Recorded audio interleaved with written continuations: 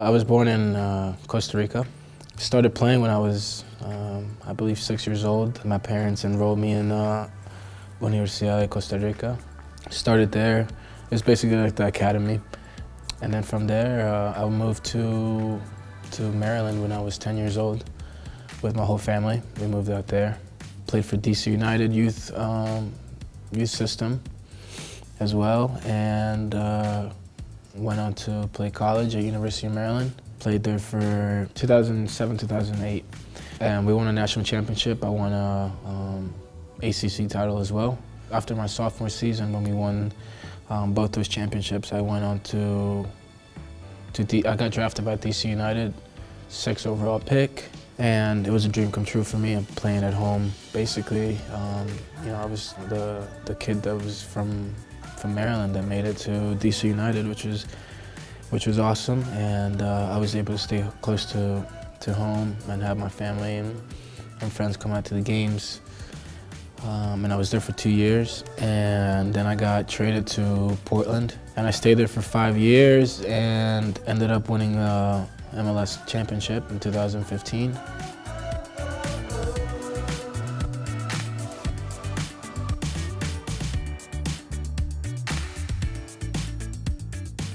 I was excited. It was a great honor to to hear that uh, the team was interested in me, that uh, Patrick um, thought very highly of me, and um, I know some of the, I knew some of the players beforehand, um, uh, Matarrita and uh, and Ethan, and uh, also um, the goalkeeper coach, Rob. He was my coach at Maryland, so we had that connection. And then when I heard that they had interest in me, it was it just seemed like the perfect situation at the time. And knowing that this is a, a very professional club here in the league, it only made things better. Um, it made things easier for me to make the decision to come here. I reached out to Mata when there was there, there was interest in, in me coming here, and I had a bunch of questions for him, and you know he was he was excited that that I, that this opportunity had presented itself. Um, because we're, we're close um, on the national team and and we connect well. So um, it was definitely a plus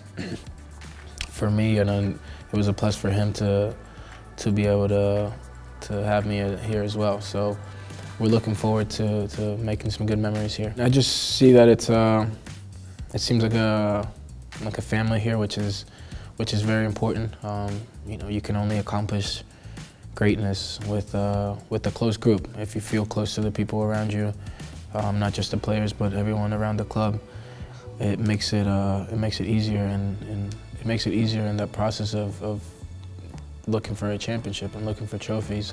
And uh, the organization itself is very professional, which um, it motivates the players. They take care of the players and, and make, they make sure that everything is, is right so the players can perform on the field, and that's what I've noticed from my first couple of days here.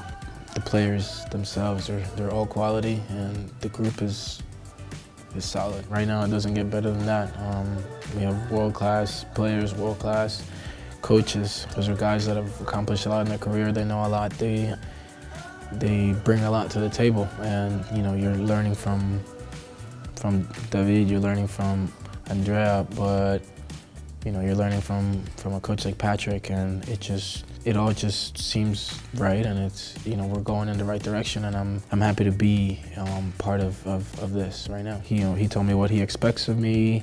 He told me that he saw very good qualities in me. He knows that I bring um, a winning mentality to this team. It's a whole package that just seemed to be perfect at the time.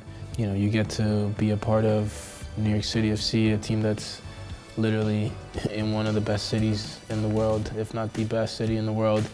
At this stage of my career, I couldn't really ask for anything more.